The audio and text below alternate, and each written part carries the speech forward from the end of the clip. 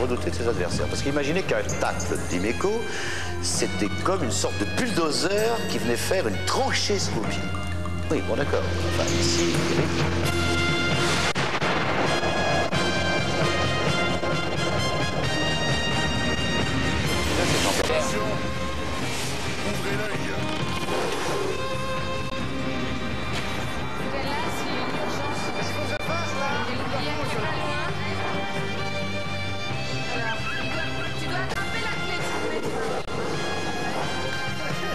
aussi est ravissante. Vous savez peut-être pas qu'elle a été animatrice à l'âge de 8 ans à la télévision, dans une émission pour enfants qui s'appelait Mercredi Moi tout. Mais ici, c'est moi l'animateur. Son tâche simplement d'être à la hauteur comme candidate. Ça sera déjà pas mal. Il a voulu jouer au malin. Allez, vas-y. Alors, vous connaissez Ça s'appelle le bonto, précisément. Vous avez déjà joué à ça? C'est une histoire euh, de clé qui se cache derrière des gobelets. Il faut retrouver le gobelet euh, en dessous duquel il y a une clé. Alors, les- la clé, elle se trouve au-dessus. Vous voyez la clé? Il faut sortir. Ouais, ouais, ouais, viens.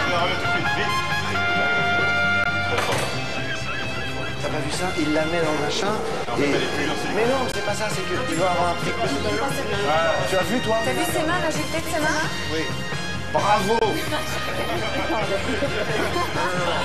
lui as dit un bravo très, très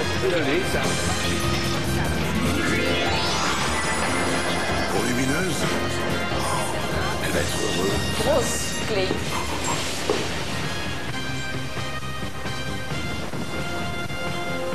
Ce qui est bien avec vous, c'est que vous êtes assez calme. hein, comme. Oui,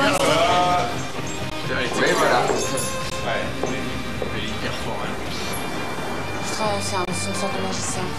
Non, moi je pense qu'il faut qu'ils se décident, qu'ils les mettent d'une façon. Au milieu, au milieu, au milieu. Aïe, aïe, aïe, aïe, aïe, aïe.